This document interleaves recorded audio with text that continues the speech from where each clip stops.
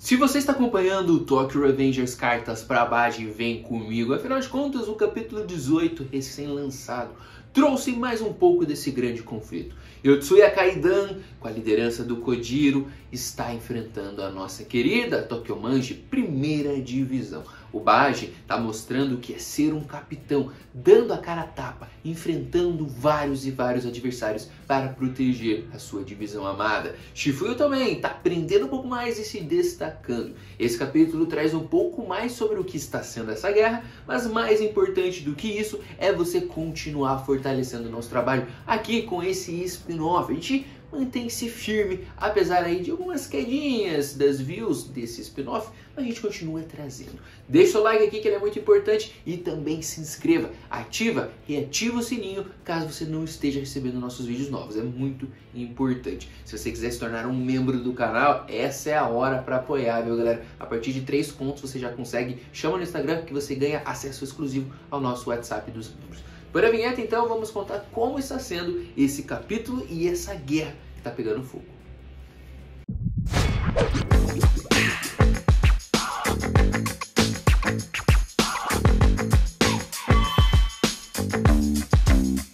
Com o capítulo em mãos, vamos lá, galera. Capítulo 18, desde o princípio. A gente percebe que a luta está quebrando o pau. Tem vários caras caídos e você percebe que, inclusive, esses teoricamente caras mais fortes do Itsuya Kaidan, que foram reunidos de outras gangues rivais, todas dentro dela, também estão sofrendo com a força de Baji e Shifuyo. Eles não entendem como os caras estão tão motivados assim da primeira divisão. E, inclusive começam a temer que vai dar ruim para eles. Eles precisam de ajuda lá do pessoal de dentro, que esse mesmo, Kojiro e companhia, que meteram o pé e deixaram eles com toda a responsabilidade. Afinal de contas, o Baji tá com tudo. E a próxima cena já é o Baji meter aquele socão, mandando eles para longe, inclusive estourando a porta e eles enfim estão entrando.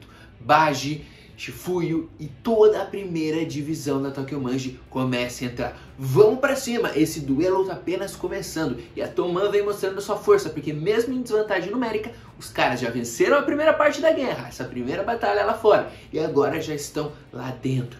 Agora o negócio vai pegar fogo. O Kojiro até fala que é inacreditável, parece um monte de lixo esses caras que estavam dentro da Yutsuya Kaidan. A primeira divisão, mesmo sem o Ryusei, foi o suficiente para derrotar todos ali. Sangue nos olhos, viu? A Toman tá quente. Agora o Kojiro fala que já está de saco cheio. Ele vai transformar isso num verdadeiro cemitério. Parece ser um sinal que ele vai entrar na batalha. Enquanto os caras da Toman estão subindo os vários lances de escada, tentando encontrar eles, percebem que o nosso pessoal está diminuindo. Porque, sim, eles são motivados, a Toman é forte, mas é muita gente contra. Não é todo mundo da Toman que tá conseguindo avançar, chegar lá dentro, não. Tá ficando difícil poucos estão conseguindo ficar de pé. Esse carinha aí, parecido, inclusive lá com o Ervin do Attack on Titan, tá dentro aqui também da Tokyo Manji e tá preocupado. Mas ao ver as costas do Baji, o seu líder totalmente poderoso ali na frente, demonstrando raça, força, energia, isso é uma motivação. O Baji não para. Então nós, membros da primeira divisão, também não devemos parar. Vamos para cima. A gente não tem nem ideia de quantos o Baji já derrotou por nós. Então nós, como primeira divisão, temos que ir com tudo para cima. O negócio complica porque quando eles chegam em um determinado andar, você olha visualmente, você vê que tem ali cerca de uns 15 a 20 caras da Yotsuya Kaidan inteiros que nem começaram a participar da batalha, enquanto eles já estão bem cansados. Os caras até chegam a comentar, né? Nunca pensamos que vocês chegariam tão longe, mas ainda assim os caras eram muitos, muitos para tomar. Mesmo o Baji sendo tão forte, parece que a preocupação vai começando a pesar entre os membros da Toman que ainda estão inteiros. Você percebe que o Bigodeiras é um desses que está de pé, firme e forte. E ele encara diretamente o Ryusei, que é um desses caras que está ali em pé. E pelo que dá para parecer, ele está entrando, entrando na luta, se posicionando. O Bigodeiras está ali lutando contra os caras porque a batalha, ó, já começou. Todo mundo volta para a emoção. O Shifuya também já bateu o olho, já percebeu que o Ryusei está por ali. O Ryusei comenta naquela paciência, naquela calma que ele não costumava ter, já que ele era um cara muito divertido, bem extrovertido mesmo. Ele fala: Eu sabia que vocês viriam. a luta finalmente vai esquentar. Você percebe que os membros da Toman estão muito cansados, mas eles continuam, continuam, continuam, continuam, porque tem um Baji por eles. E você começa comentando, não sei porquê, mas eu já vi isso acontecer várias vezes. Não importa a situação, a Toman sempre contorna.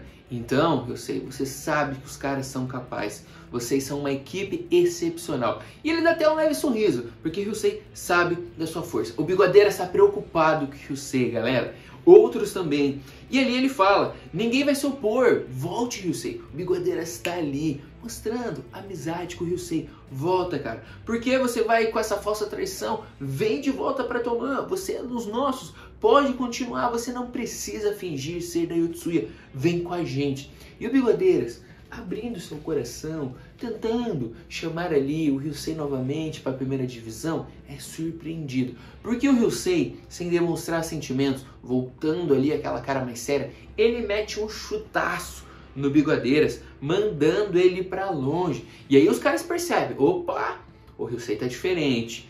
E o Ryusei fala, por acaso vocês não desconfiaram de nada?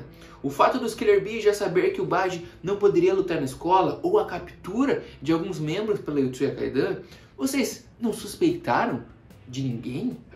Como que eles conseguiram essas informações? Foi porque eu era um espião perfeito. Ou seja, o Ryusei estava traindo a Tuman desde o início. Vocês botam fé nisso?